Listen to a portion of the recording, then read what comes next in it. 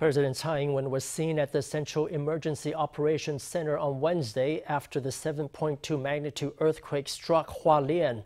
Premier Chen Chien-jen canceled his schedule for the day, joining his Vice Premier Cheng Wen-tsan and Interior Minister Lin Yu-chang at the center for a disaster briefing. Top officials have launched repair work on rail lines and roads damaged by the temblors. Troops have also been deployed nationwide to assist in rescue missions. A 7.2 magnitude earthquake struck Hualien Wednesday morning and was felt throughout Taiwan. Premier Chen Chien-jen canceled his schedule for the day and, alongside Vice Premier Cheng Wen-tsan, joined President Tsai Ing-wen at the Central Emergency Operations Center.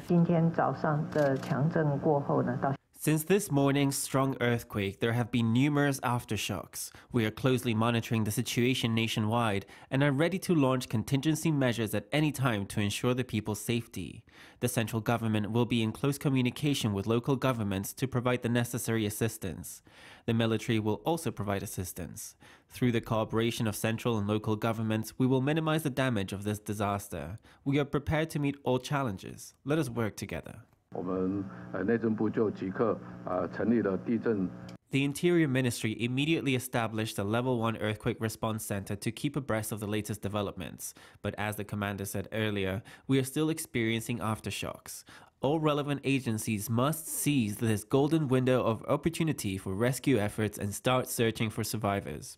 The disaster struck just before the Tomb Sweeping Festival long weekend. Along the East Coast, the earthquake damaged rail lines and other transport networks. Premier Chen has given orders for urgent repairs. 后续的救援工作。 Subsequent rescue work will rely on smooth transportation, so we need to make sure that resource deployment is properly managed. 那在铁公路的一个复原部分。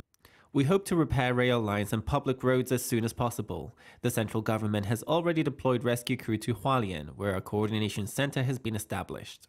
Troops have also been deployed for rescue missions nationwide. The central government said it's activated an emergency response plan to minimize damage to life and property.